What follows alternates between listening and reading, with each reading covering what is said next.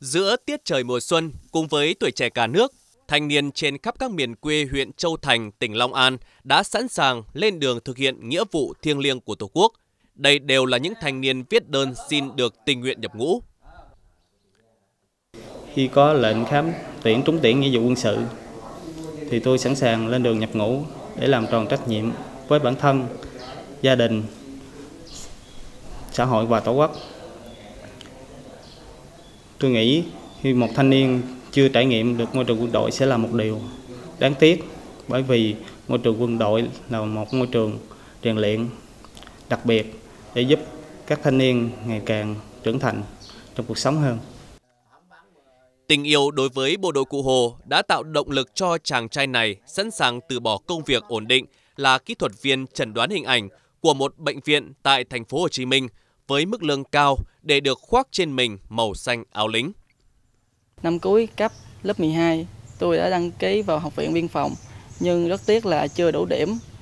để đậu. Vì vậy, một lần nữa, ước mơ của tôi lại cháy bỏng và tôi quyết định nghỉ công việc của mình để thực hiện ước mơ. Tôi hy vọng bản thân sẽ trưởng thành hơn trong môi trường quân ngũ và sẽ được phục vụ lâu dài. Để công tác tuyển quân đạt chất lượng hiệu quả, huyện Châu Thành đã chú trọng gắn tuyển quân với công tác xây dựng hậu phương chiến sĩ. Những trường hợp gia đình chiến sĩ khó khăn được cả hệ thống chính trị huyện Châu Thành vào cuộc để chăm lo, như gia đình thanh niên Nguyễn Đăng Khoa trong lúc tại ngũ công tác tại đội K70, Cục Chính trị Quân khu 7. Tôi vừa xuất ngũ vào năm đầu năm 2024. Trong lúc à, tôi đi lính thì có gia đình có gặp một số khó khăn và được sự ờ, quan tâm giúp đỡ của ban chỉ huy quân sự huyện Châu Thành phối hợp với cục chính trị đã tặng cho tôi một căn nhà và một con bò giống để làm vốn làm ăn. Đó cũng là nguồn động lực để tôi ờ, phấn đấu trong ờ, hoàn thành nghĩa vụ tại ngũ. Và tôi rất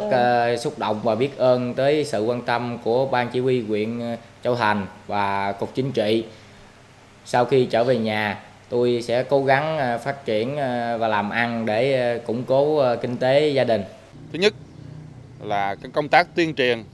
thực hiện lực nghĩa vụ quân sự có hiệu quả, nâng cao được cái nhận thức của người dân, à, thanh niên tự giác à, tình nguyện đi đăng ký à, thực hiện nghĩa vụ quân sự. Cái thứ hai là thực hiện đồng bộ cùng với chính sách an sinh xã hội của huyện thì chính sách hậu phương quân đội cũng được thực hiện rất rất tốt đặc biệt thông qua các mô hình tặng nhà tình nghĩa quân dân tặng nhà đồng đội, tặng nhà cho các cái hộ nghèo, các thanh niên dập nhập ngũ gặp khó khăn đã xây dựng được cái tình cảm ờ, đối với ờ, bộ đội trong nhân dân dạ, cho nên công tác tuyển quân cũng được một phần thuận lợi. Với phương châm xây hậu phương, vững tiền tuyến, huyện Châu Thành, tỉnh Long An là một trong những điểm sáng của tỉnh Long An trong công tác tuyển quân. Hàng năm, các thanh niên trúng tuyển đều chấp hành tốt lệnh gọi lên đường nhập ngũ, xứng đáng với truyền thống của một vùng quê cách mạng.